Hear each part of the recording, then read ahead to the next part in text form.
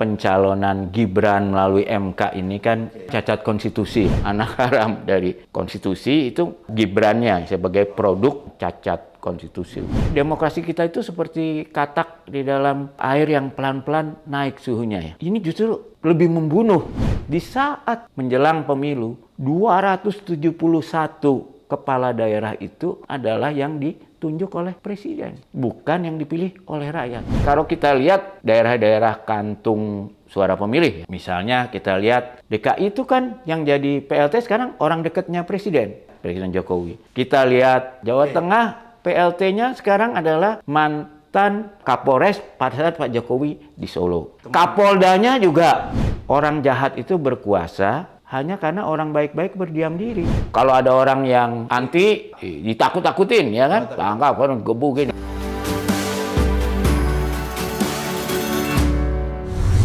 Selamat datang di channel Abraham Samad Speak Up. Seperti biasanya, saya tidak sendiri. Hari ini saya menghadirkan narasumber yang luar biasa. Kenapa saya katakan luar biasa? Beliau ini adalah wartawan senior ya. Dulu waktu kita masih jadi aktivis, itu kita selalu menjadikan beliau ini sebagai role model kita. Wartawan yang penuh perjuangan, pernah menghadapi Orde Baru, pernah juga di penjara kalau saya ingat ya. Saya langsung memperkenalkan beliau. Assalamualaikum. Waalaikumsalam warahmatullahi wabarakatuh. Enggak, di, sampai di penjara enggak, karena tulisinya takut sama istri saya. Tapi dihukum penjara ya, tapi belum dilaksanakan. uh, netizen, ya. beliau ini adalah Bambang Harimurti. Ya. Bung BHM biasa hmm. saya panggil beliau. Yeah.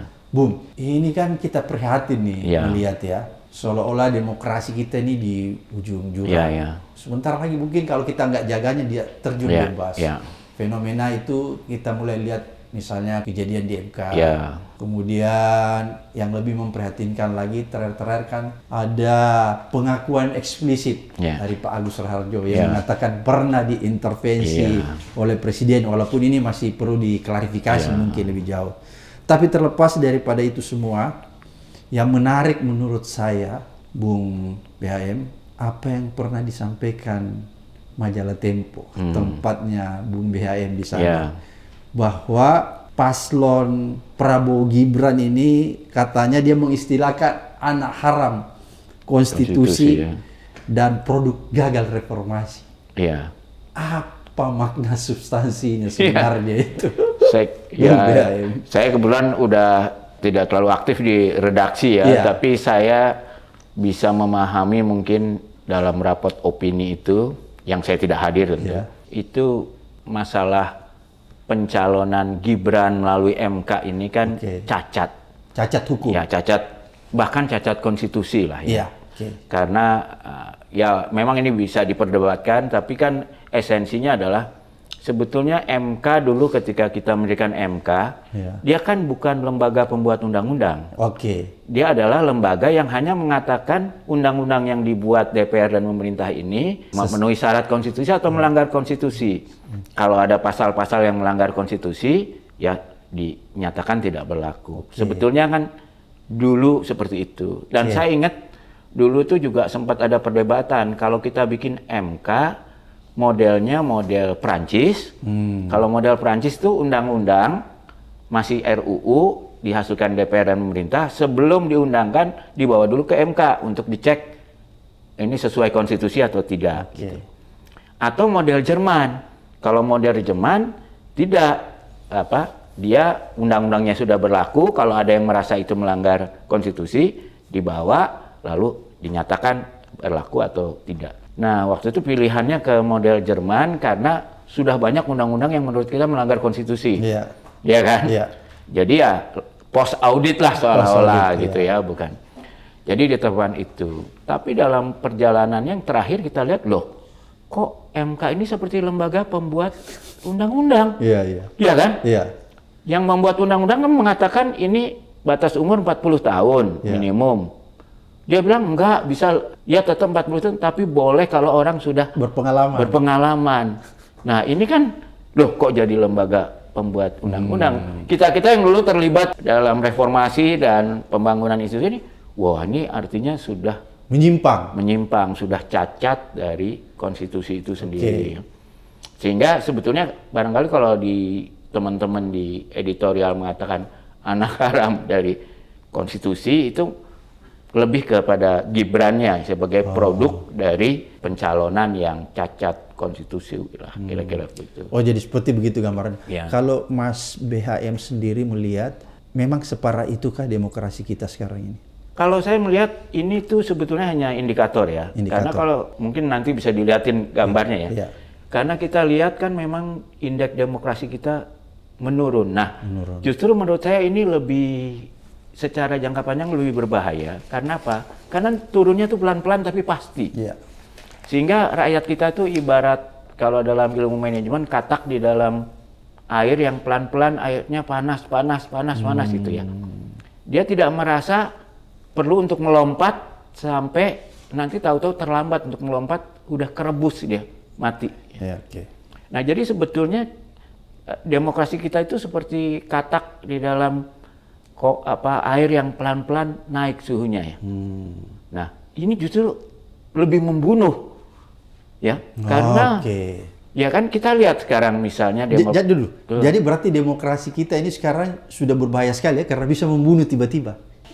Rakyat kita bisa terlambat tahu bahwa kedaulatan rakyatnya hilang. Hmm, okay. Ya, sehingga karena sekali itu udah hilang susah kalau kita lihat misalnya kalau sudah di bawah modelnya kayak Korea Utara, itu kan udah berapa?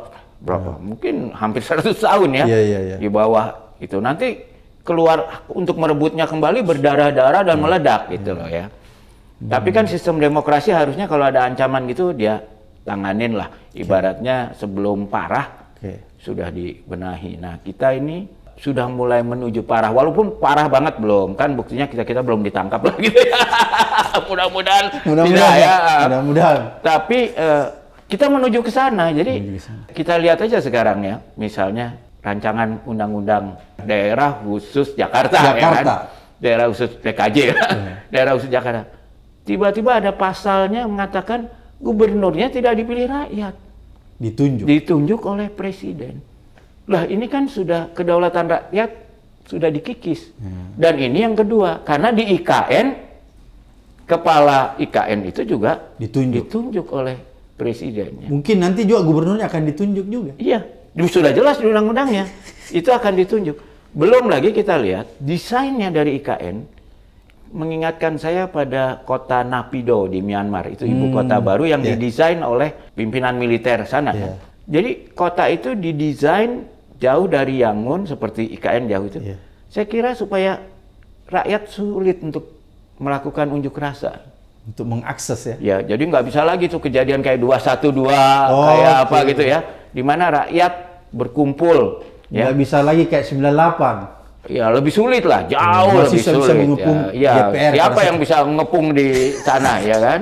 Masa UI mau ke sana aja ongkosnya udah berat kan? Iya. Masa ITB atau UGM berat ke sana hmm, untuk okay. ongkosnya. Kalau kemarin kan gampang naik kereta atau naik bus aja masih bisa. Yeah.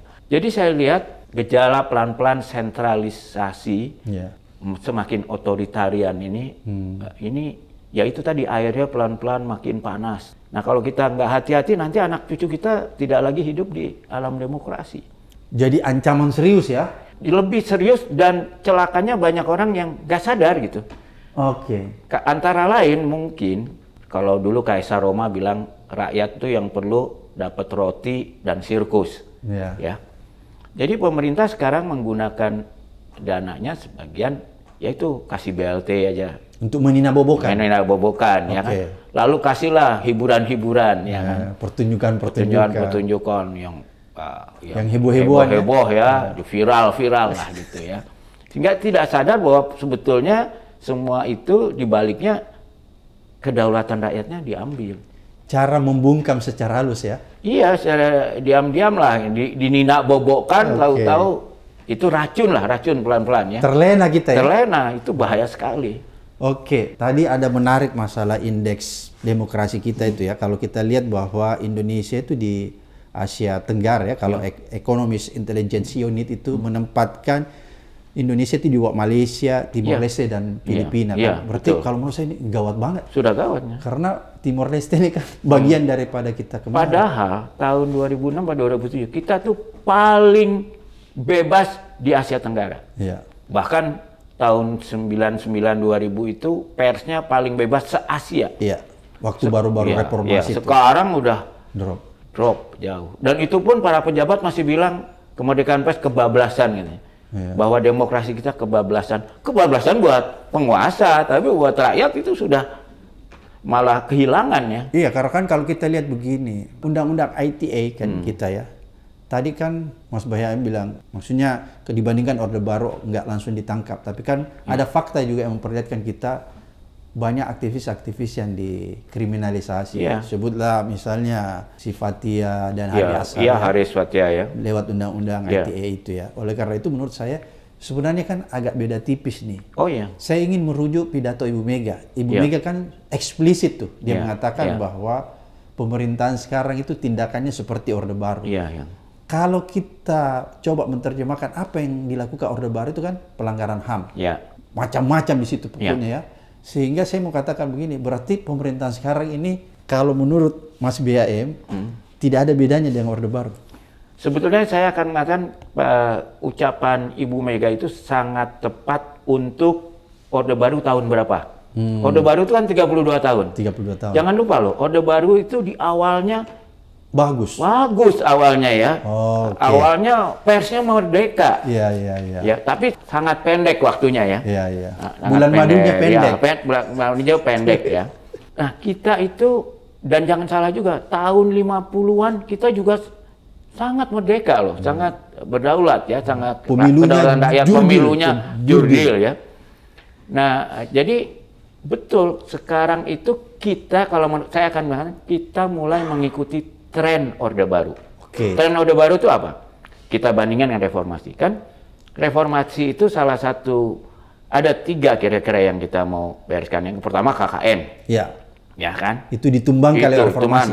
KKN Kedua, kita minta otonomi kan, yeah. karena terlalu sentralisme. Yeah. Karena politisasi dari aparat kan, ya. terutama yeah. TNI di fungsi ABRI dan juga Korpri dan yeah. dan polisi dan banyak. Nah, sekarang kita lihat semua itu ke mulai kembali. Kita lihat tadi sentralisme, yeah. otonomi mulai digerogotin, ya yeah. kan? Dengan tadi gubernur Pilih. paling nggak dua daerah mau ditunjuk oleh presiden, yeah. ya kan? Nah, bahkan sekarang kalau kita lihat di saat pemilu menjelang pemilu 271 kepala daerah itu adalah yang ditunjuk oleh presiden, bukan yang dipilih oleh rakyat. 271 itu seolah-olah kan separuh lah dari semua kepala daerah yang 540-an.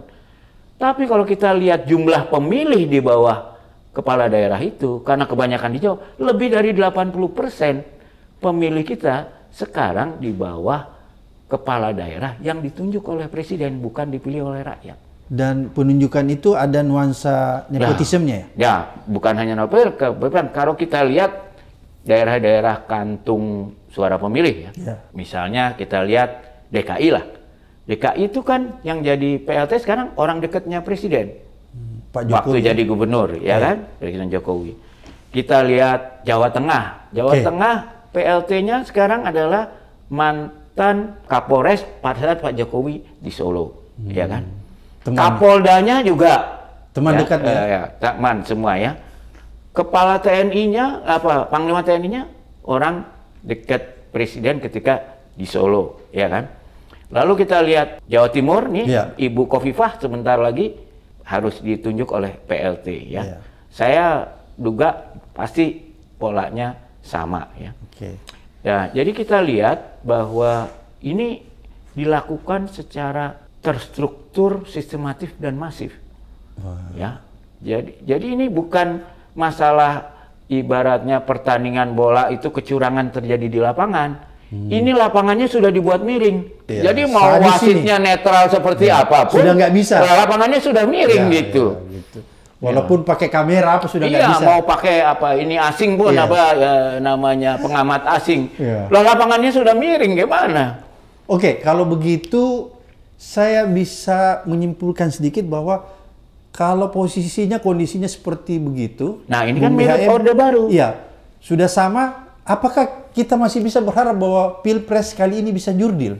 Ya, kalau menurut saya tergantung kita-kita apakah kita membiarkan atau kita ingin membenahi kan? Oke. Okay. Kan dulu ada namanya Edmund Burke, dia yeah. bilang orang jahat itu berkuasa hanya karena orang baik-baik berdiam diri. Oke. Okay. Padahal jauh lebih banyak orang baik sebetulnya. Cuma dia berdiam diri. Cuma dia berdiam diri. Safety player mungkin. Nah, safety player. Jadi saya ibaratkan gini lah. Kalau zaman dulu kita kalau naik bus ya, itu kan bus penumpangnya mungkin 50. Hmm. Tiba-tiba di satu halte naiklah dua orang nih bertato Terus dia bilang, bapak-bapak, ibu-ibu, mohon maaf kami baru bebas, nggak punya uang, ya, tolong uh, kami baru bebas dari penjara. Wah, itu sebenarnya kan cuma dua orang. Iya, iya. Kalau 50 orang di bus itu Keroyong, kompak, ya. bau melawan, habis itu dua orang kan? Ya. Bahkan nggak usah semuanya lah, mungkin ada yang perempuan. Yang laki-laki aja ada yang muda-muda, laki-laki ya, ya. mungkin 25 persen lah. Ya, ya. Ada 10 orang aja ya, yang ya, itu. Kan selesai itu orang.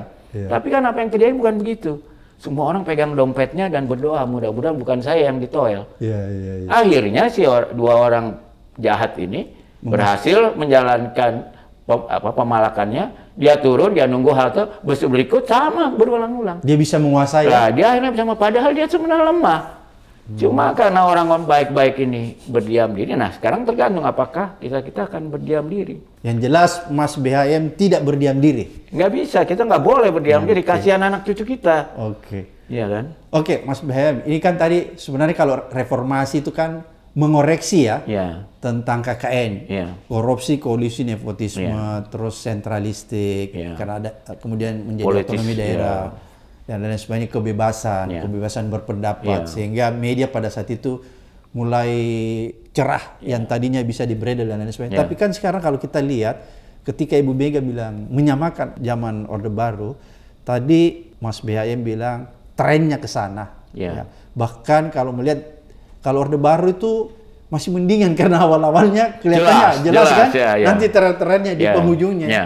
Apalagi kalau kita membandingkan Soeharto. Soeharto menunjuk Tutut itu ketika dia sudah 30 tahun. Betul, kan? betul. Nah, apa yang terjadi dengan Pak Jokowi ini? Ya kalau menurut saya begini, saya kan semua orang tahu bahwa kekuasaan itu memabukkan ya. Hmm. Nah, kita beruntung bahwa konstitusi kita berkat reformasi membatasi membatasi dua periode. Itu pun mau dirubah. sempat mau diubah ya kan? Okay. Ya walaupun uh, berkat ya Ibu Mega dan juga ini saya kagum dalam hal ini ini menunjukkan bagaimana tiap orang itu bisa membantu. Kalau informasi yang saya dapat selain karena Ibu Mega itu mengatakan tidak setuju, Oke. Yang tiga periode itu ya? Yang tiga periode itu juga jajak pendapat yang diminta oleh presiden sendiri, hmm. walaupun mengatakan mungkin popularitasnya di atas 80%, tapi salah satu jajak pendapat yang dipercaya presiden mengatakan 88% menolak perpanjangan periode. Hmm. Nah, itu juga yang antara lain menyebabkan Pak Jokowi kemudian tidak melakukan itu ya. Jadi saya kira peran masyarakat saja di dalam menyampaikan bahwa saya nggak setuju, mengatakan saya tidak setuju perpanjangan periode itu sudah bermanfaat dalam menjaga demokrasi kita. Okay. Jadi itu bolehlah rakyat kita ya dalam hal ini. Oke, oleh karena itu sebenarnya tinggal dirawat ya rakyat ini didorong ya, dicerahkan, terus ya. Dicerahkan dan dicerahkan dan kita belajar bahwa kita itu bisa menang sebagai masyarakat sipil. Jadi kalau Mas BHM lihat bahwa karena ini situasinya kondisinya kelihatannya hampir separah Orde Baru, maka yang menentukan apakah kita bisa selamat apa enggak demokrasi kita hmm. ini ditentukan oleh rakyat itu sendiri ya. Iya. Ya, saya kira rakyat kita mumpung ibaratnya airnya belum mendidih membunuh kita gitu, okay. cepat lakukan lompatan itu. Hmm. Jadi kita sampaikan dan menurut saya bisa kok. Ini kesempatan ya menjelang pemilu. Kalau rakyat mengatakan kita hanya akan memilih yang mendukung demokrasi, itu pasti calon-calon presiden ini mau nggak mau harus melakukan kegiatan-kegiatan yang mendukung kan. Terus kalau rakyat misalnya secara tegas mengatakan pokoknya siapa calon yang curang kita jangan pilih. Nah, itu juga akan membantu. Hmm. Jadi orang mikir wah jangan-jangan kalau curang saya ini. Dan itu ada presiden loh. Saya ingat dulu ketika Pak SBY maju pertama kali, -hmm. itu kan oleh almarhum Pak Taufik Hikmas sebagai suaminya dari presiden itu kan dihina-dina, dibully habis. Yeah, yeah.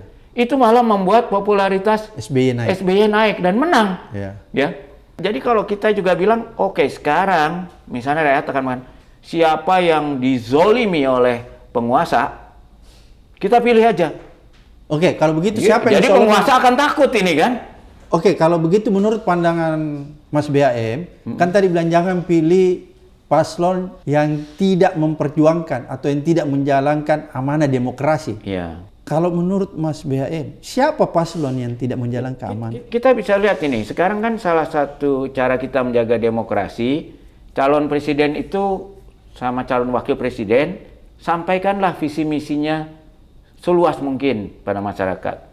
Dan bukan di arena yang tanpa tantangan. Debat hmm. itu kan di, diadakan supaya masyarakat bisa masyarakat menilai. bisa menilai. Ya. ya. Jadi kalau ada calon yang menghindari debat itu patut dicurigai. Jangan-jangan dia tidak siap siap untuk berdebat ya. Oke, menarik tuh. Hmm. Oh, kita memilih calon yang menjalankan amanah demokrasi ya. dan tidak memilih calon yang tidak menjalankan amanah demokrasi. Ya kalau kita lihat substansi demokrasi itu adalah menghargai konstitusi. Ya, itu substansi betul. ya. ya. Menghargai konstitusi sekaligus menjalankan dan mengamanahkan. Ya. Kalau kita melihat kondisi hari ini, seperti tadi saya ingin setir kembali bahwa pencalonan Gibran ini melalui ya. MK ya. ini cacat hukum. Cacat konstitusi. Cacat konstitusi. Oleh karena itu, apakah itu yang dimaksud oleh Mas BHM? Rakyat jangan pilih calon yang ini. Ya, kira saya kira, konstitusi. saya kira gini, kalau menurut saya begini, tiga calon ini ya karena semua tiga pasangan calon ini manusia, ya, ya. kan? Mereka pasti bukan punya, dewa ya? Bukan dewa. Mereka pasti punya cacatnya masing-masing. Oke. Okay. Jadi di antara cacatnya jangan pilih yang cacatnya paling banyak. Oke. Okay. Iya kan? Uh, pilihlah yang cacatnya paling sedikit. Oke. Okay. Ya kan? Kalau anda merasa bahkan terlalu sedikit cacatnya, Ya kalau mau memilih golput itu juga hak, tapi kalau milih golput jangan tidak hadir.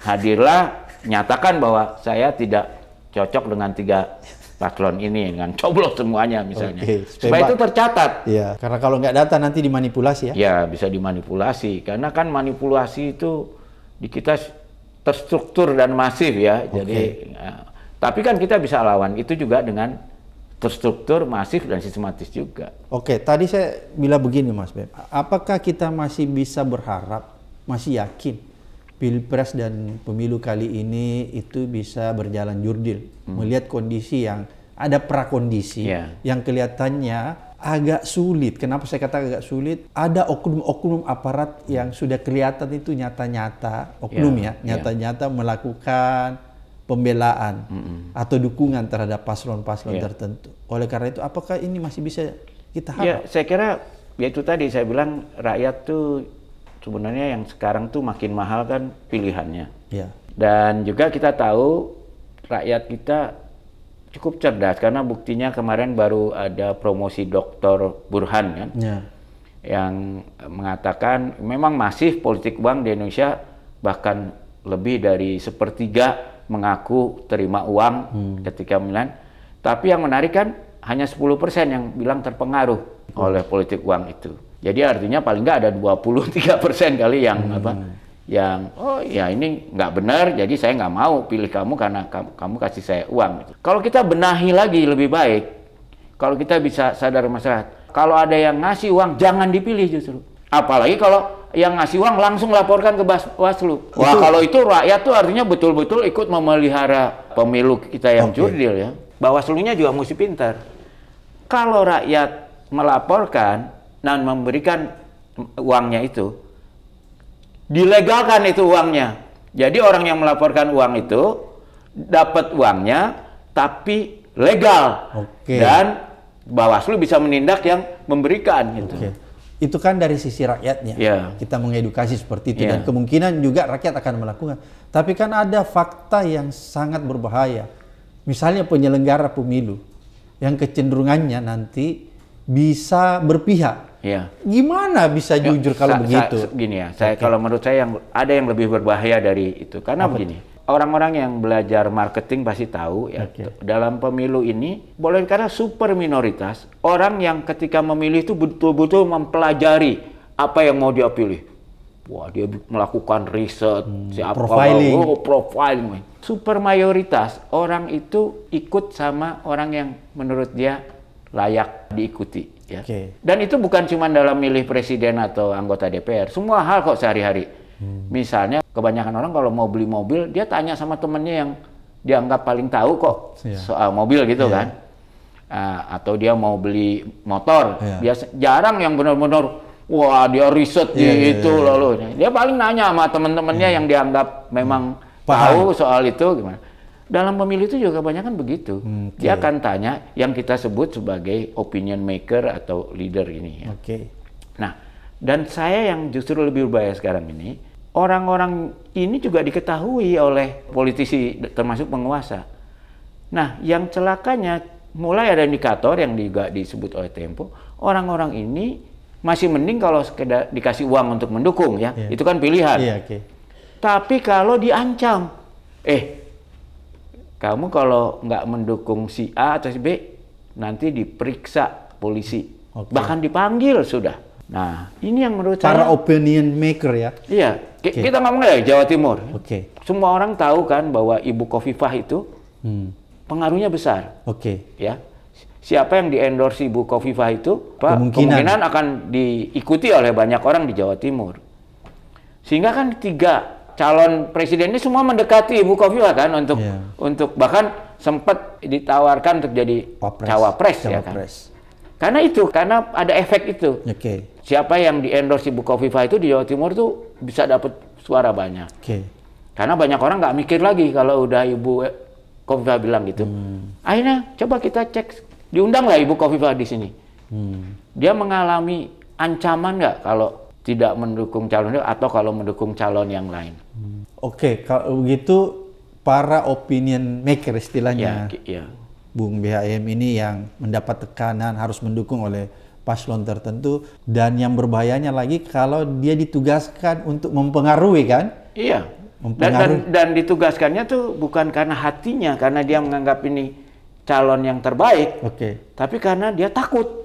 Okay. Nah, jangan salah ya, di Jerman dulu Hitler itu terpilih secara demokratis loh. Hmm. Juga Mussolini di Italia. Iya, iya betul. Ke, tapi kenapa dia bisa terpilih demokratis? Karena ketika itu setiap orang yang menyuarakan anti terhadap Hitler itu digerujuk oleh yang namanya the brown shirt, baju coklat. Yeah. Takut sehingga yeah. sehingga akhirnya orang-orang yang tidak setuju dengan Hitler atau dia berdiam diri atau dia kabur ke luar negeri kan mengungsi. Yeah.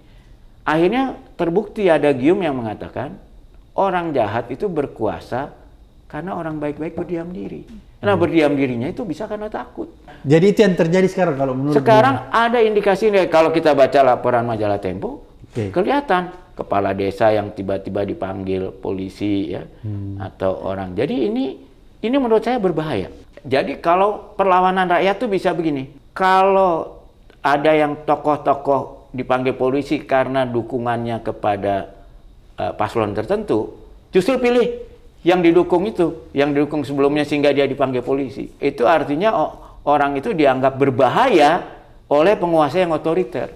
Iya kan? Jadi itu rakyat bisa melawan dengan cerdas seperti itu. Kesadaran kolektifnya ya. Iya, jadi seperti zaman Pak SBY dulu itu ya, loh. Ya ketika dipilih. Ya justru karena ditekan penguasa malah kita pilih gitu. Jadi fenomena itu mungkin akan terjadi ya? Bisa terjadi. Eh, itu tadi saya bilang karena saya lihat sekarang itu kan sebetulnya semua pol ya jajak pendapat walaupun mengatakan ada calon yang kelihatannya selalu nomor satu ada calon yang mungkin nomor dua nomor tiga sekarang mulai bersaing gitu ya tapi seolah-olah nomor satu ini kalau Belum kita baca sekilas menang mutlak. Sebetulnya kalau kita dalami semua jajak pendapat itu, ternyata sekitar sepertiga dari pemilih yang di dalam jajak pendapat itu menyatakan saya memilih A atau B atau C, itu juga menyatakan bahwa pilihan saya masih bisa berubah. Nah dengan situasi seperti itu, sebetulnya tiga paslon ini punya peluang, punya peluang untuk menang. Ya, wow. jadi jadi kalau tahu-tahu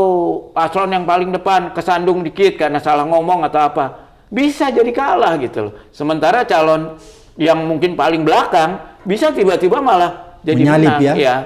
Jadi ini kita harus sampaikan pada masyarakat luas. Coba teliti jajak pendapat itu dengan cermat lah.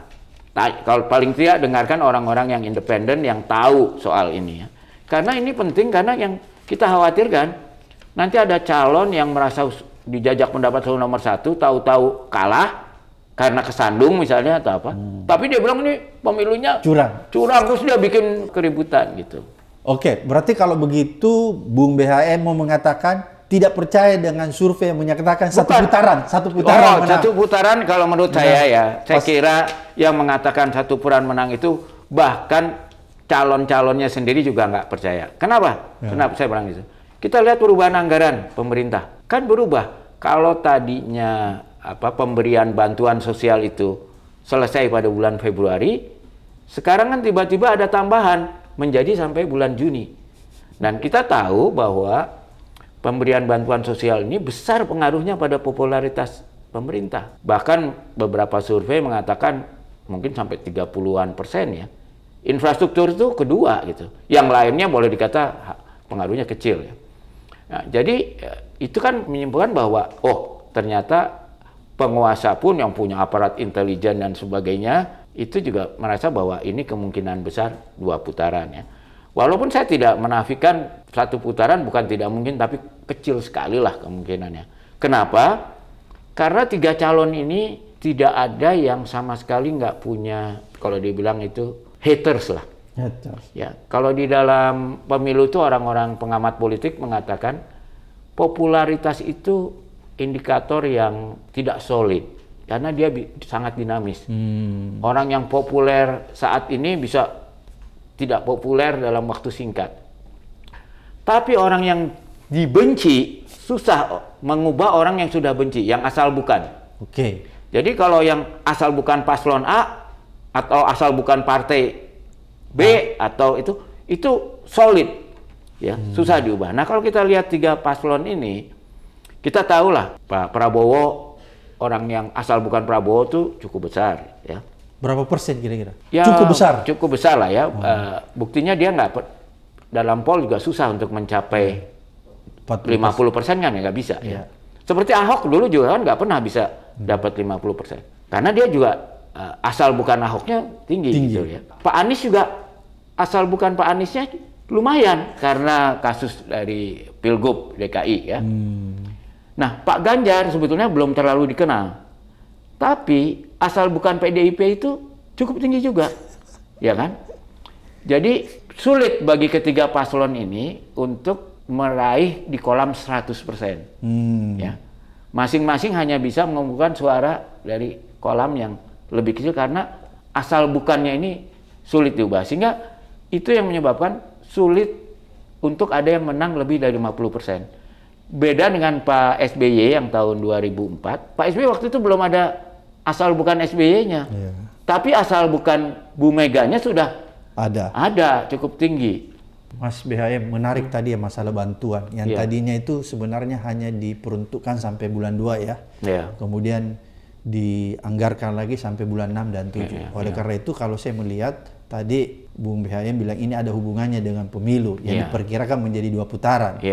Berarti kalau begitu saya melihat bahwa bantuan langsung yang akan diserahkan kepada rakyat nanti itu adalah dipolitisasi dong Betul. untuk kepentingan paslon tertentu. Betul, Mak makanya kalau menurut saya rakyat bisa melawan ini dengan mengatakan itu uang yang dibagiin itu uang negara, uang rakyat, bukan uang paslon tertentu. Hmm. Iya kan?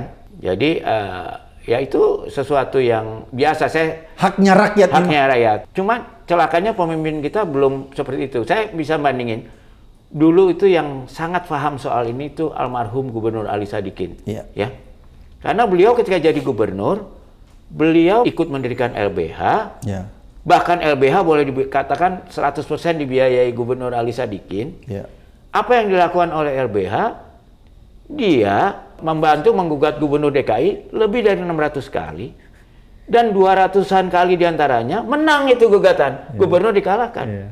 Nah LBH terima uang itu karena uang itu kan bukan uang gubernur, yeah. itu uang rakyat dikirimkan ke Pemda, ya kan? Bukan uang pribadi Ali Sadikin. Dan bagusnya Ali Sadikin, dia juga mengatakan, ya ini kenapa saya lakukan itu, saya bantu LBH, karena saya tahu anak buah saya belum tentu benar, hmm. ya kan? Jadi kalau sedangkan rakyat itu, kan kasusnya kebanyakan LBH saat itu adalah karena Pak Ali Sadikin membantu menciptakan real estate. Yeah. Dia bawa pengusaha-pengusaha Kadin itu ke Amerika lihat yeah. karena dia pusing lihat bangunan di Jakarta tuh centang perenang gitu kan. Sedangkan dia lihat kok di Amerika tuh tertib, bagus. Gitu. Tertata. Gitu. Ternyata kuncinya tuh bangunan itu dibangun oleh real estate. Yeah. Jadi dia bawa dan pengusaha itu kemudian membangun real estate ya. Tapi dia tahu dalam prakteknya real estate kan bebasin tanah. Yeah. Rakyat yang punya tanah itu kan namanya apalagi rakyat miskin. Surat-surat gak jelas kadang-kadang yeah. ya pengetahuan kurang. Yeah. Tapi kan dia mungkin udah tinggal di situ ratusan tahun, puluhan yeah. tahun dari engkongnya ya yeah, kan. Iya iya iya. Nah, lalu ini kan kalau pengusaha real estate kan bisa nyewa lawyer, lawyer apa dicari, wah itu suratnya nggak lengkap yeah, gini yeah. gini, iya. bisa kalah lagi. Yeah. Dan dia tahu orang kalau rumahnya digusur ya bisa jadi hamas kan. bakar-bakar ya kan. Yeah, yeah. Kalau namanya ke rumah kita yang kita yeah. dari engkong kita kok tiba-tiba yeah. diambil atau kayak di Rempang kan. Ya, ya. Jadi Bang Ali bilang kamu nggak usah jadi Hamas lah. Kamu Ikut pergi, ke... pergi aja pengadilan itu kan bukan dia. orang Pemda, itu ya. kan pihak ketiga ya. ya kan, yang independen. Oh nggak punya uang, ya ya LBH, LBH kan hmm. ahli-ahli hukum, Gratis. kamu nggak usah bayar. Ya. Jadi menurut Bang Ali itu adalah pendidikan hukum yang hmm. paling bagus. Dan jadi rakyat itu nggak usah lempar molotov jadi Hamas. Ya. Dia itu dan dia bilang kalau yang dibantu LBH nggak pernah menang, siapa yang mau minta bantuan LBH? Ya kan? Ya. Tapi ke mas ke anak buahnya yang komplain, Bang Ali kok bantu apa LBH yang menggugat kita gitu. gitu. Ya bilang ya kalau kamu benar lawan sampai ke Mahkamah Agung, saya bantu. Tapi awas ya kalau kamu salah, saya tempiling kata dia kan dia itu. Itu kan cara dia mengontrol aparatnya. Oke, kalau begitu Bu BHM mau katakan bahwa penguasa sekarang itu jauh dari praktek seperti kalau kita lihat yang dilakukan penguasa-penguasa sebelumnya yeah. yang lebih memperhatikan rasa keadilan yang ada di dalam masyarakat. Apakah saya bisa katakan bahwa kekuasaan sekarang itu sudah tidak bermartabat? Ya, ya itu saya bilang ini ada proses ya. Ya. Yang tadi saya bilang kapasitas. Saya lihat Pak Jokowi di awal-awal tuh bagus sekali. Oke. Okay. Dikritik sekeras apa pun, dia bilang rapopo, hmm. ya kan? Malahan yang bawahan yang banyak yang uh, kebakaran jenggot, ya dia yeah. malah bilang rapopo, yeah, ya kan? Yeah. Itu kan contoh yang bagus. Tapi kok ke sini hmm. jadi mulai mabuk kekuasaan juga ya. Mungkin itu kita juga ya, barangkali kalau kita dalam posisi dikelilingi orang-orang yang selalu bilang kita benar ya. Dan orang-orang yang ngedit kita itu memang orang sakit hati, hmm. orang apa. Gak kebagian. Lama-lama mabok juga kita gitulah. Makanya menurut saya kita beruntunglah dulu di awal reformasi ada batas masa jabatan itu ya. Okay. Itu menjaga menjaga orang-orang mabuk tidak berkuasa ya. Menjaga hasrat ya. Menjaga ya menjaga supaya kedaulatan rakyat okay. ya, tetap terjaga. Apakah kalau begitu Bung BHM ingin katakan bahwa kekuasaan sekarang itu sudah tidak bermartabat? Saya begini, saya problemnya Pak, kita fair aja ya. Okay. Pak Jokowi itu banyak jasanya di bidang infrastruktur ya. ya. Walaupun menurut saya orang suka bandingin dengan Pak SBY. Menurut saya juga ada perbedaan karena di era Pak SBY itu banyak proyek infrastruktur tertahan pembebasan tanah karena belum ada undang-undangnya hmm. untuk pembebasan tanah. Lalu baru dibuat undang-undangnya hmm. 2012 jadi undang-undang pembebasan tanah yang kalau rakyatnya ngotot nggak mau ya dibayar ke dititipkan ke pengadilan. pengadilan ya kan, tapi bisa tetap diambil. Ya. Nah, undang-undangnya baru 2012 kan dengan segala aturannya baru 2013 ya.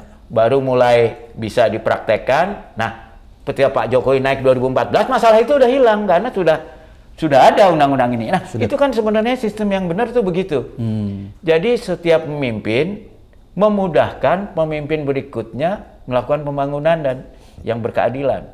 Ya kan? Kalau di zaman Pak SBY dia bikin undang-undangnya.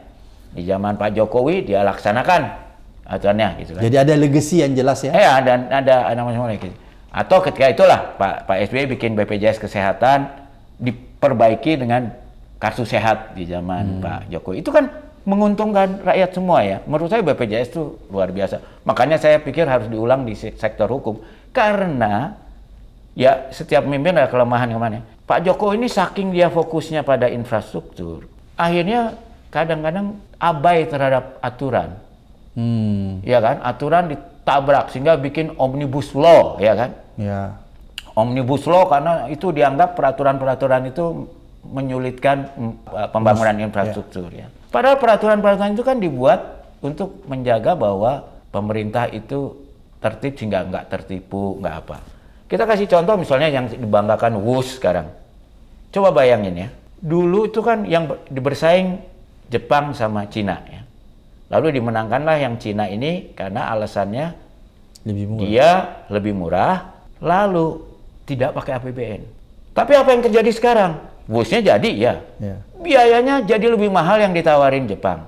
Membengkak. Membengkak jauh. Okay. Dan ini akan siapa pun jadi presiden nanti akan pusing dengan UUS ini. Kenapa? Karena ternyata jadi pakai APBN karena uangnya karena jadi mahal. Ya, membengkak. Membengkak daripada mangkrak ya udahlah kasih Di, diinjeksi pakai APBN. APBN.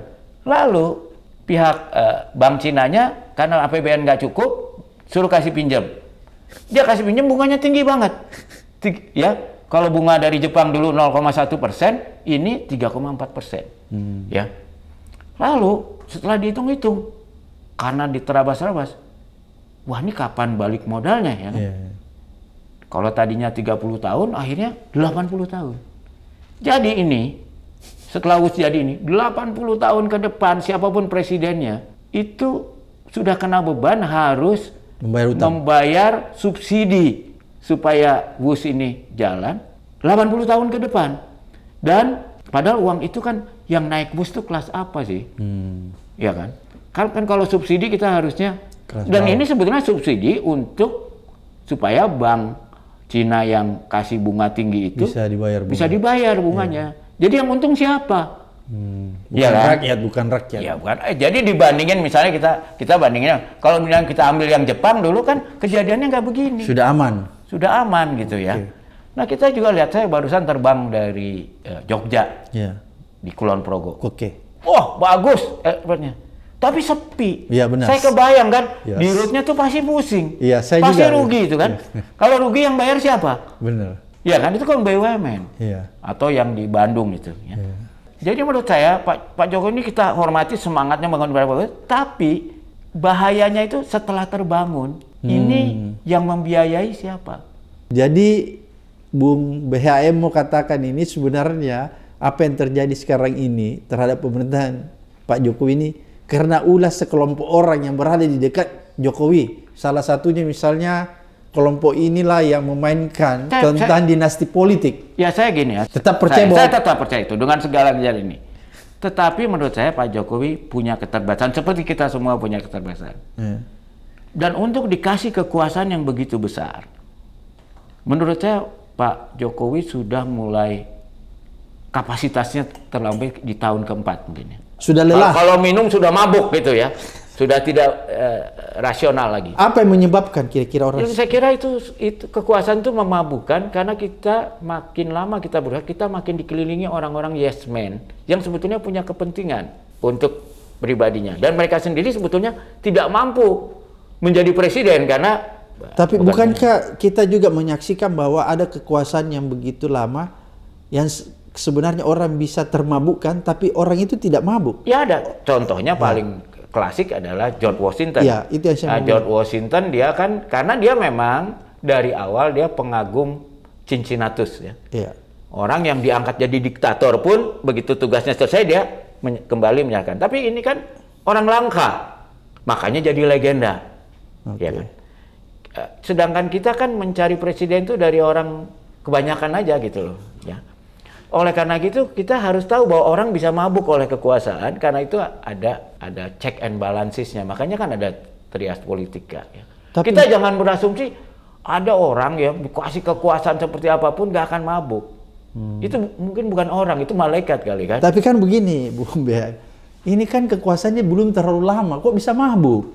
Beda ya. misalnya kayak Soeharto gitu, itu pun Soeharto mabuknya nanti di air-air 30 tahun. Ya, itu kira-kira kenapa tuh? Yang kalau menurut saya juga, ya ini dulu ya kita anggap mungkin jam terbang juga ya. Oke. Okay. Kalau kita lihat kan Pak Jokowi mantap sekali sebagai wali kota Solo. Iya. Tujuh tahun ya. Iya.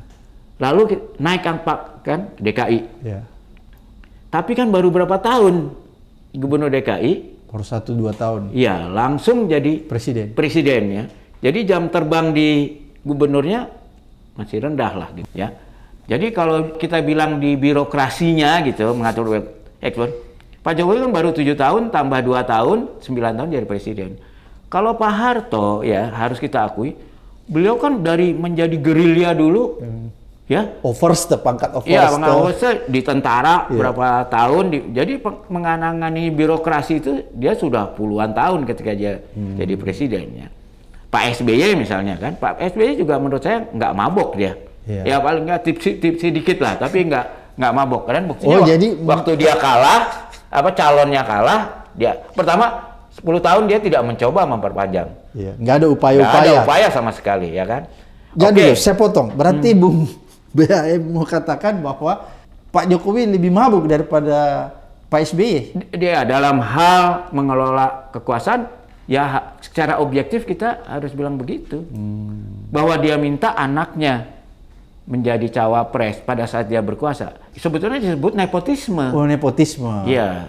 Oke. Okay. Karena nepotisme kental lagi ketua yeah. MK-nya juga paman dan yang harusnya kan dalam ketentuan hakim dia begitu ini ponakannya dia interest. harusnya kan tidak ikut. Oke. Okay. ya. Dan ini kan tragedinya ironinya justru kita dulu itu salah satu pilar utama dari reformasi adalah anti KKN. N-nya kan nepotisme. Iya sehingga ada ketetapan MPR-nya, ada undang-undangnya. Iya. Ada tap MPR ya. dan Undang-Undang 28 tahun ya. 99 ya, turunannya ya. kan. Iya. Oleh karena itu kalau itu ada turunannya, ada dasar hukumnya berarti Pak Jokowi ini melanggar aturan-aturan uh, dong. Mungkin itu ada dugaan hmm. karena kan kalau undang-undang ada orang hukum lebih paham kan. Apa yang dilakukan tua MK? Oh, MK. Ya. Yang yang adalah adik iparnya Presiden Jokowi adalah sudah kalau itu sudah dinyatakan sudah oleh jelas. Majelis ya sudah nepotisme jelas. ya, ya melanggar. Dah tapi karena tindakan presiden terhadap ini tidak ada, itu kan menguatkan indikasi bahwa presiden setuju dengan tindakan itu. Karena Dia kalau kita lihat, karena kan kalau kita lihat powernya, kondisi presiden kita ini luar biasa. Sampai DPR aja bisa memecat hakim konstitusi yang sebelumnya kan? Yang itu sudah jelas melanggar segala macam aturan kan? Dan hmm. presiden kemudian melantik yang dicalonkan penggantinya. Kan itu artinya presiden menyetujui apa yang dilakukan oleh DPR yang sebetulnya hmm. artinya membiarkan pelanggaran kan? Sudah ikut dalam pelanggaran itu. By omission ya? Iya.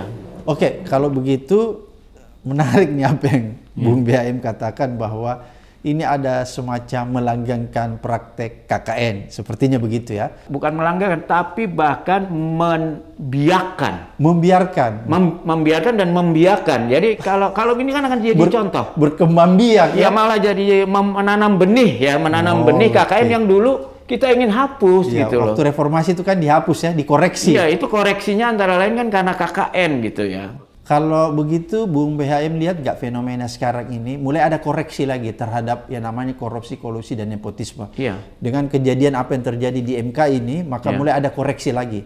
Orang mulai dibangunkan kembali, iya. melakukan Betul. koreksi. Di kampus ini saya lihat beberapa fenomena sudah terjadi dari kampus iya. ke kampus sudah mulai bergerak melawan iya, betul. praktek KKN. Ya, dari kampus ke kampus, apakah iya. fenomena ini terus membesar dan apakah kalau menurut Bung BHM kalau dia membesar dia akan terjadi seperti 98. Kalau saya lihat bahwa kasus ini akan bergelinding hmm. akan terus karena kita lihat orang-orang yang dulu jadi penggerak reformasi modern juga sudah mulai berkumpul-kumpul lagi turun kan? gunung ini turun gunung semua kayak kan? kita ini sudah ya, turun gunung turun gunung kan ya senior saya Gunawan Muhammad uh. sudah turun ya dan saya senang bahwa ternyata Gen X anak-anak muda ini yang sebetulnya tidak mengalami reformasi juga mulai mulai aware. bergerak, aware ya. Yeah. Dan uh, tentu dengan cara mereka sendiri. Yeah. Tapi jangan salah, 99 itu terjadi krisis ekonomi yang 98 besar, ya. ya 98 ya.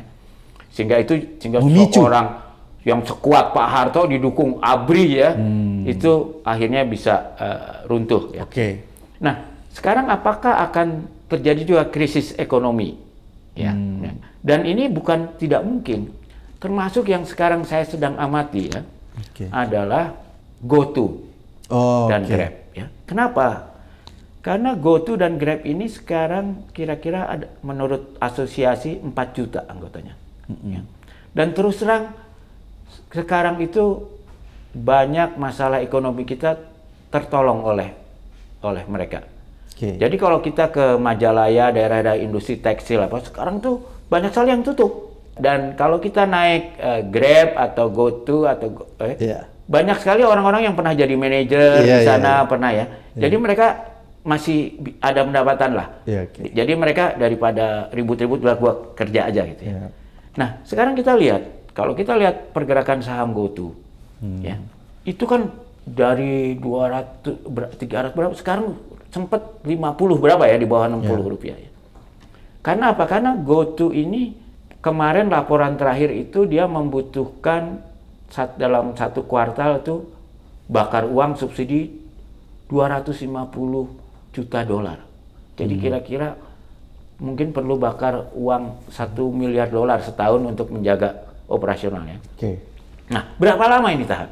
Hmm. Kalau tiba-tiba ini kolaps, ini dampaknya bisa seperti 98. Karena itu sekarang itu, menurut saya kalau saya jadi penguasa pemerintah, saya akan jaga jangan sampai go to ini sudah too big. Kita kan nggak ada yang mau ya, kita nggak ada yang oh, iya. mau okay. terjadi kerusuhan. Bisa nggak kita mengorganize turun sejuta, dua juta orang tapi damai? Oke. Okay. Dan bahkan kalau bisa, kalau saya mimpi saya tidak hanya damai, setelah satu juta orang ini menyatakan pendapat, tempat dia menyatakan pendapat jadi lebih bersih. Kita ini masyarakat yang beradab, yang sekedar ingin anti kekerasan. Anti kekerasan dan kita hanya menginginkan kedaulatan rakyat dikembalikan. Hmm.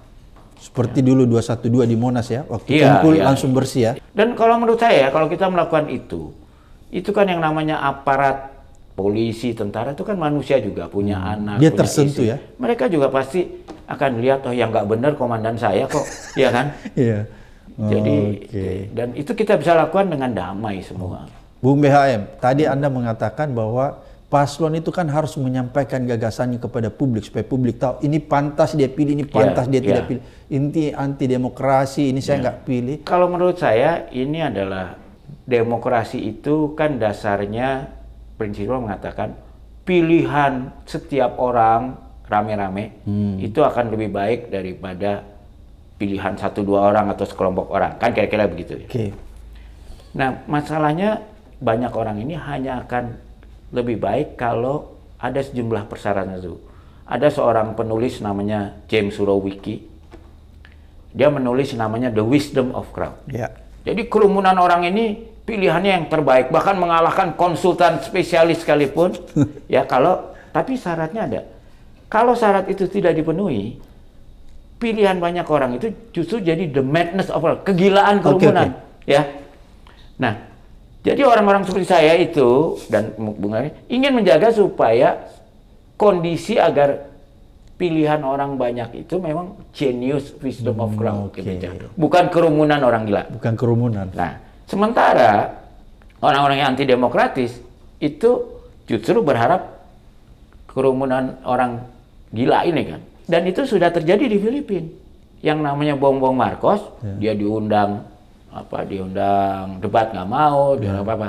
Dia serangan udara aja lewat medsos, ya. lewat apa, lewat apa. Nah, semacam virus kegilaan ya, gitu ya. Dan ternyata dia menang. Oke. Okay. Karena itu tadi, karena di bawah Duterte pada saat pemilihan itu, yaitu teman saya Rappler yang mencoba jadi pers yang bebas, wah diadili kan, sampai dia dapat hadiah Nobel sih. Kan. Karena itu tadi supaya madness ini terjadi. Nah kita sekarang ini berkepentingan supaya jangan yang terjadi di Filipina itu terjadi di kita. Oke, berkaca dari Filipina, hmm. kemenangan Bombo, Marcos, hmm. berpasangan Sara Duterte. Yeah.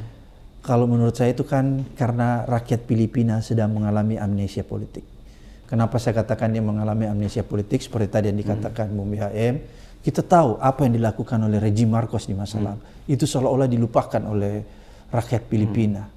Mungkin dengan strategi misalnya tadi nggak mau menyapa, nggak mau kampanye, tapi melakukan serangan udara. Hmm. Dan fenomena itu kelihatannya akan terjadi di Indonesia ya. Yeah. Apakah rakyat Indonesia ini mirip dengan rakyat Filipina nantinya yang akan mengalami amnesia politik sehingga akan terpilih orang yang sebenarnya cacat moral dan cacat konstitusi. Nah, amnesia itu terjadi kan diciptakan. Tadi seperti saya bilang, salah satu caranya adalah seperti Hitler dia create kan apa uh, brown shirt. Oke. Okay. Kalau ada orang yang anti, anti kritik, tangkap, ditakut-takutin ya kan, oh, takut tangkap kan gebukin. Sekarang ya. seperti itu. Nah sekarang kita lihat, nah kalau kita baca laporan Tempo, yeah. nah, kepala desa yang nggak itu, tahu-tahu dipanggil polisi. Kita nggak bisa mengatakan dia dipanggil polisinya karena itu, tapi orang ya ini kan yang dibilang seperti kentut itu ya. Yeah. Baunya kerasa tapi nggak tahu siapa bentuknya ya, ya. ya tapi kan kita harus ngomong lah, oke okay, kalau ini bukan karena itu, atau kita bisa bilang lah kalau mau misalnya, Pak Polisi, aparat hukum, menjelang pemilu moratorium dulu, ya kan? Hmm. Jadi ibaratnya penyelidikan boleh tetap jalan, ya kan? Tapi nanti gongnya baru di hmm. setelah, ya kan? Dan itu harus tegas. Kalau yang ada yang melanggar gitu ya langsung kan. Sekarang gampang Kapolda bisa dicopot, ya, Kapolres, ya, langsung aja di. Oke. Okay. Di, kalau dia nggak bisa menonaktifkan dirinya supaya netral lo, ya jabat dari jabatannya dinonaktifkan. Nah kita harus harus ngomong gitu loh. Berarti dan kita kan sekarang punya gini nih. Udah kalau ada yang kita anggap kan Filipina curiga, juga punya HP. Iya, tapi jangan salah. Ketika Filipina di bawah Duterte itu kan ada Petrus. Ya, ya. Orang itu takut. Ya. Iya kan? Ya. Tahu-tahu Anda berani kritis-kritis, Anda tahu-tahu mati bukan karena dituduh Anda oposisi, tapi Anda agen narkoba.